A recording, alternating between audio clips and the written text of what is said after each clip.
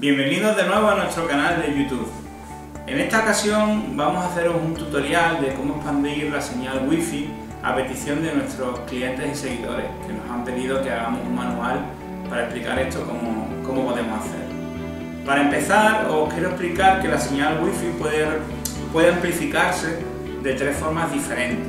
La primera sería utilizando un router, como este que tenemos aquí, puede ser de cualquier otra marca, Y sustituirlo por el router que nos proporciona nuestro operador.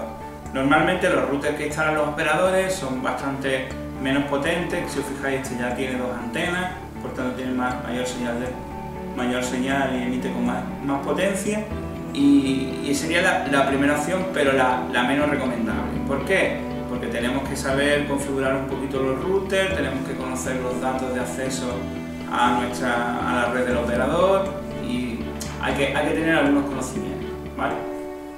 La segunda opción sería instalar un punto de acceso. Para los que no sabéis lo que es un punto de acceso, un punto de acceso es un equipo que nos genera una nueva red wifi. ¿Qué pasa? Pues igual que antes, que estos, puntos de acceso suelen ser bastante más potentes y, generan una red wifi bastante más potente que la del router del operador. Eh, para hacer esta instalación sería bastante sencillo. ¿Por qué? Porque lo único que tendríamos que hacer sería tirar un cable desde el router que nos proporciona el operador hasta nuestro punto de acceso y enchufarlo a la corriente. De esa forma ya tendríamos una red wifi. ¿Por qué? Porque estos puntos de acceso siempre traen un nombre de red y una contraseña por defecto, como hacen los routers de los operadores. Después podemos, por supuesto, conectarnos, hacer cambiar el nombre de la red, cambiar la contraseña y, todo, ¿no? ¿Vale? En este caso, este es un equipo de TP-Link, pero hay muchos puntos de acceso, de acceso en el mercado. Y por último, que es en el que vamos a basar nuestro manual, sería en la instalación de un repetidor Wi-Fi. Existen repetidores Wi-Fi de este estilo, que son enchufables, que van directamente enchufados a la corriente, y también repetidores Wi-Fi que tienen este formato, ¿no? tienen, tienen un formato de router con varias antenas, pero el que más se utiliza y el que más vendemos es este equipo de aquí. Eh, a continuación vamos a mostrar cómo se configura, veréis lo sencillo que es y por unos 30 euros podemos mejorar la calidad de la red wifi de nuestra casa. A continuación vamos a explicaros cómo podemos mejorar la señal wifi de nuestro piso, nuestro, nuestro chalet, nuestra casita. Es muy común que tengamos instalado nuestro router, router como este, un router convencional, y al final de en las últimas habitaciones de casa o al final del pasillo, en la bordilla, no llegue la, la señal wifi con la suficiente potencia. Por lo tanto no podemos navegar, tenemos problemas con los receptores, las consolas y todos los dispositivos que queremos conectar a internet. Pues con este equipito, como os he comentado antes, que está en torno a los 30-32 euros, eh, podemos conseguir mejorar esa calidad de señal wifi y evitar todos esos cortes. La configuración de este equipo es muy muy sencilla, vamos a explicar ahora cómo se hace y también puede hacerse directamente mm, vía, vía PC conectándonos a una dirección IP todo esto viene explicado perfectamente en las instrucciones, pero nosotros vamos a explicar el paso sencillo para lo que lo puede hacer cualquier persona sin ningún tipo de conocimiento técnico. Si os fijáis, eh, como hemos comentado antes, hemos replicado lo que es la, instalación habitual de, un router de casa, donde tenemos nuestro router, tenemos las conexiones de, de, cableado, ¿vale? Y todos, todos, todos, todos estos routers por detrás tienen un botoncito que pone VPS, también a veces tienen un dibujito con una señal de internet, ¿vale? Necesitamos para hacer esta configuración eh, asegurarnos de que nuestro, nuestro router tenga este botoncito, ¿vale?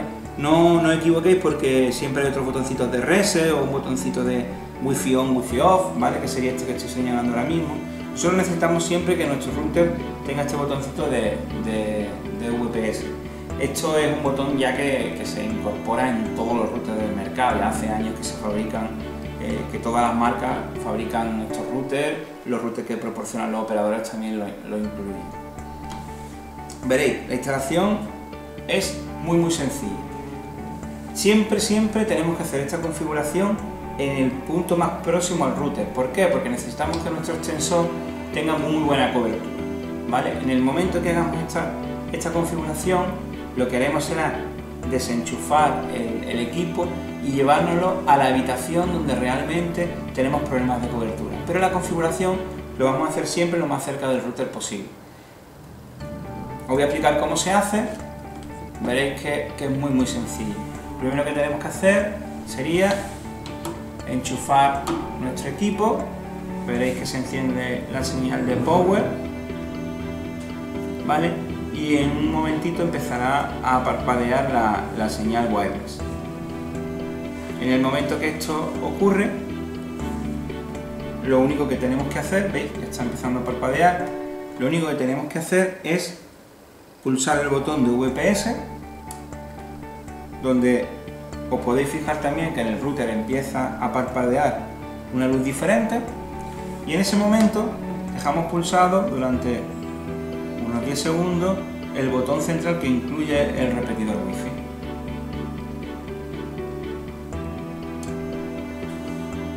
¿Veis? En el momento que soltamos este botón empieza a parpadear el, el LED donde pone RE, que es Range Extender, y si os fijáis acaban de cambiar las luces y se ha puesto a máxima potencia.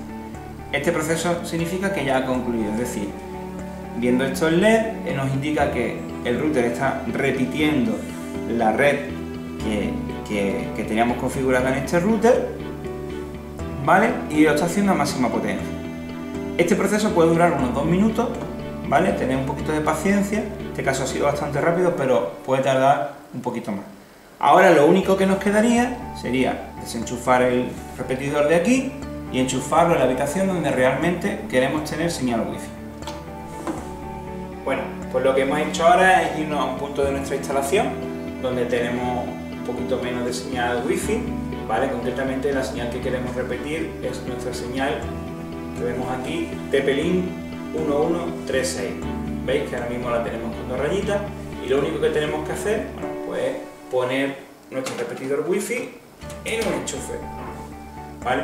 Este proceso, bueno, pues tarda un poquito como veis, eh, siempre como es un dispositivo electrónico pues necesita un proceso de arranque, empieza siempre por la versión power, después se encenderá la señal wireless y por último cuando el repetidor empiece a repetir se encenderá la luz RE que significa Range Extender, que es básicamente la traducción de repetidor de señal. ¿vale? Si os fijáis, en el momento que esa señal empieza a repetir, aquí ya la tenemos a máxima potencia, ¿vale? Pero bueno, terminará el proceso encendiendo las luces de RE y también se indicará la cobertura de señal de, eh, que estamos recibiendo de la fuente de wifi original. Fijáis, ya terminado, tenemos simplemente dos rayitas, ¿vale?